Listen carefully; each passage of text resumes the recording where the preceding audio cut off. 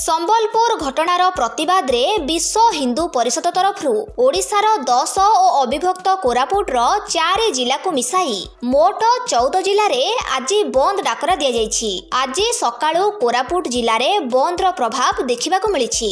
ବନ୍ଦର ପ୍ରଭାବରେ କୋରାପୁଟ ଜିଲ୍ଲାର ଜୟପୁର ବୋରିଗୁମା କୋଟପାଡ଼ କୁନ୍ଦୁରା ବୈପାରୀଗୁଡ଼ାର ଦୋକାନ ବଜାର ବନ୍ଦ ରହିଥିବା ସୂଚନା ମିଳିଛି। ଗତ ବାର ତାରିଖ ଏବଂ ଚଉଦ ତାରିଖ ଦିନ ସମ୍ବଲପୁରରେ ଶ୍ରୀ ଶ୍ରୀ ହନୁମାନ ଜନ୍ମୋତ୍ସବ ଉପଲକ୍ଷେ ଚାଲିଥିବା ଶାନ୍ତିପୂର୍ଣ୍ଣ ଶୋଭାଯାତ୍ରାରେ ବିଧର୍ମୀମାନେ ପଥର ଫିଙ୍ଗିବା ସହ ଧାରୁଆ ଅସ୍ତ୍ରଶସ୍ତ୍ର ଧରି ଆକ୍ରମଣ କରିଥିଲେ ଯାହାଫଳରେ ଅନେକ ଧନଜୀବନ ନଷ୍ଟ ହୋଇଥିଲା। ଏହି ସବୁ ଅମାନୁଷିକ ହିଂସାକାଣ୍ଡର ପ୍ରତିବାଦରେ ଆଜି ସକାଳ ଛଅଟାରୁ ସନ୍ଧ୍ୟା ଛଅ ଘଣ୍ଟା ପର୍ଯ୍ୟନ୍ତ ବାର ଘଣ୍ଟିଆ ବନ୍ଦ ପାଳନ ହେଉଛି। ଏହି ବନ୍ଦ ପାଳନରେ ସମସ୍ତ ଯାନବାହନ ଓ ଦୋକାନ ବଜାର ବନ୍ଦ ରହିଥିବା ଦେଖିବାକୁ ମିଳିଛି। ଏଥିରେ ଭାରତୀୟ ଜନତା ପାର୍ଟିର ସ୍ୱତନ୍ତ୍ର ନିମନ୍ତ୍ରିତ ସଦସ୍ୟ ଗୌତମ ସାମନ୍ତରାୟ ସୁଧାଂଶୁ ଶେଖର ଜେନା ରାଜ୍ୟ କାର୍ଯ୍ୟକାରିଣୀ ସଦସ୍ୟ ବାବୁ ଭାଇ ବଜରଙ୍ଗୀ ଆମର ଲାଲ ଆହୁଜା ମୋହନ ମାଝୀ ବାବୁ ପରିଡ଼ା ଓ ସମସ୍ତ ହିନ୍ଦୁ ସଂଗଠନର ସଦସ୍ୟ କର୍ମକର୍ତ୍ତା ଉପସ୍ଥିତ ରହିଥିବାର ନଜର ଆସିଛି।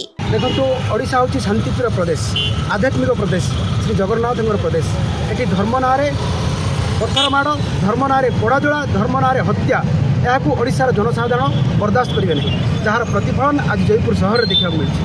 ଆପଣମାନେ ଜାଣିଥିବେ ହନୁମାନ ଜନ୍ମୋତ୍ସବ ଦିନ ରାମ ଭକ୍ତମାନଙ୍କର ଯେଉଁ ବିଶାଳ ଶୋଭାଯାତ୍ରା ହେଇଥିଲା ସେହି ଶୋଭାଯାତ୍ରାରେ ଇସ୍ଥାନିତ ହୋଇ କିଛି ଜାହାଦୀ ତତ୍ତ୍ୱ ରାମ ଭକ୍ତମାନଙ୍କ ଉପରେ ପଥର ମାଡ଼ କରିଥିଲେ ଏବଂ ଜଣେ ବନବାସୀ ଭାଇଙ୍କୁ ହତ୍ୟା କରିଥିଲେ। ଯାହାର ପ୍ରତିବାଦରେ ବିଶ୍ୱ ହିନ୍ଦୁ ପରିଷଦ ପଶ୍ଚିମ ପ୍ରାନ୍ତ ପନ୍ଦର ଗୋଟି ଜିଲ୍ଲା ପଶ୍ଚିମ ପ୍ରାନ୍ତର ଅନ୍ତର୍ଭୁକ୍ତ ସେହି ପନ୍ଦର ଗୋଟି ଜିଲ୍ଲାକୁ ଆଜି ବନ୍ଦ ଡାକର ଦେଇଛି ବିଶ୍ୱ ହିନ୍ଦୁ ପରିଷଦ ବନ୍ଦ ଡାକର ଦେଇଛି ସତ।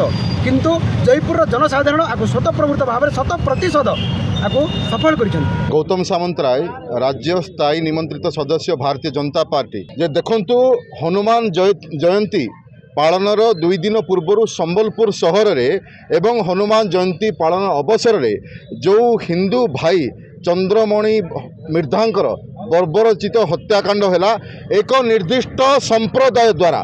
ବାରମ୍ବାର ହିନ୍ଦୁମାନଙ୍କ ଉପରେ ଆକ୍ରମଣ ହେଉଛି। ପ୍ରତିବାଦ ସ୍ୱରୂପ ହିନ୍ଦୁ ଭାଇମାନେ ଯେତେବେଳେ ଆନ୍ଦୋଳନାତ୍ମକ ପଦକ୍ଷେପ ନେଉଛନ୍ତି ରାଜ୍ୟ ସରକାରଙ୍କ ଦ୍ୱାରା ତାକୁ ଦମନ କରିବାରେ ବହୁ ପ୍ରକାର ଇଏ କରାଯାଉଛି।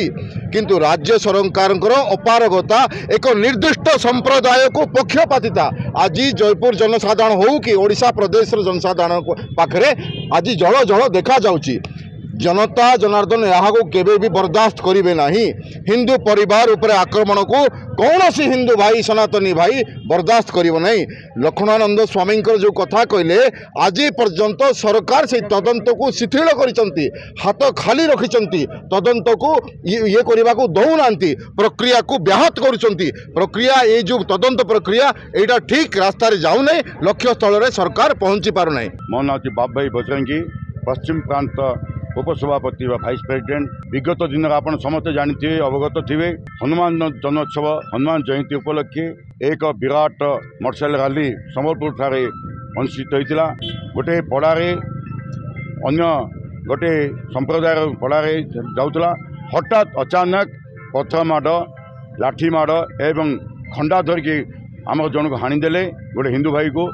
ବହୁତ ଦୁଃଖର କଥା ହିନ୍ଦୁସ୍ତାନରେ ହିନ୍ଦୁମାନଙ୍କ କାର୍ଯ୍ୟକ୍ରମକୁ ଆକ୍ରମଣ କରାଯାଉଛି ଆମ ଭାରତ ଦେଶ ଗୋଟେ ଦେଶ ଧର୍ମ ଶାନ୍ତିପ୍ରିୟ ଦେଶ ଓଡ଼ିଶା ସବୁଠୁ ଆଉ ଶାନ୍ତିପ୍ରିୟ ଦେଶ ଏହି ଦେଶରେ ଧର୍ମ କାମ କରା ଅତ୍ୟାଚାର କରାଯାଉଛି ଆକ୍ରମଣ କରାଯାଉଛି ବିଦେଶୀମାନେ କରୁଛନ୍ତି ଆଉ ଗୋଟେ କଥା ହିନ୍ଦୁ ତ ବାରମ୍ବାର ମାଡ଼ ଖାଉଛନ୍ତି କିନ୍ତୁ ପ୍ରଶାସନର ସୁରକ୍ଷା ଆମକୁ ଯେଉଁ ଦିଆଯାଇଥିଲେ ପୋଲିସ ଭାଇ ଭଉଣୀମାନେ ମଧ୍ୟ ମାଡ଼ ଖାଇଛନ୍ତି ଏଇଟା ଲଜ୍ଜାକର ଦୁଃଖର କଥା ପ୍ରଶାସନ ବୁଝିବା କଥା ଯେ ଏଇଠି ସାଧାରଣ ଲୋକ ସୁରକ୍ଷିତ ନୁହନ୍ତି ସୁରକ୍ଷା ପୋଲିସ ସୁରକ୍ଷିତ ନାହିଁ ତାହେଲେ ଆଗକୁ ଦେଶ ଚାଲିବ କେମିତି ନା ଗଣେଶ ଆଚାର୍ଯ୍ୟ ମୁଁ ରାଷ୍ଟ୍ରୀୟ ସ୍ୱୟଂସେବକ ସଂଘର କୋରାପୁଟ ଜିଲ୍ଲାର ଜିଲ୍ଲା ସମ୍ପର୍କ ପ୍ରମୁଖ ଦାୟିତ୍ୱରେ ଅଛି।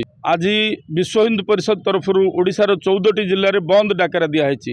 ଏଇ ଯେଉଁ ବାର ଘଣ୍ଟିଆ ଶ- ଶାନ୍ତିପୂର୍ଣ୍ଣ ବନ୍ଦ ଡାକରାରେ ଆମେ ଅନୁଭବ କରୁଛୁ ଯେ ସ୍ୱତଃପ୍ରବୃତ୍ତ ଭାବରେ ଜନସାଧାରଣ ଆମକୁ ସହଯୋଗ କରୁଛନ୍ତି ବର୍ତ୍ତମାନ ପର୍ଯ୍ୟନ୍ତ।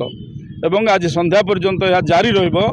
ଏହା ଆମେ ଅନୁରୋଧ ବି କରୁଛୁ ସମସ୍ତଙ୍କୁ। ଆଉ ଏଇ ଏହା ମାଧ୍ୟମରେ ରାଜ୍ୟ ପ୍ରଶାସନ ନିଶ୍ଚିତ ଭାବରେ ସଜାଗ ହେବେ। এই ବନ୍ଦ ଦ୍ୱାରା ସଜାଗ ହେବେ। ଆଉ ସମ୍ବଲପୁର ଯେଉଁ ଘଟଣାରେ ଦୋଷୀମାନେ ଯେମିତି ଦଣ୍ଡ ପାଇବେ ଶୀଘ୍ର ଆଉ ତାର ବିଚାର ହେବ ସେଥିଲାଗି ଆମେ ଏହି ବନ୍ଦ ପାଳନ କରୁଛୁ। ଜୟପୁରରୁ ମଧୁସୂଦନ ପାତ୍ରଙ୍କ ରିପୋର୍ଟ କାମୟାବ ଟିଭି।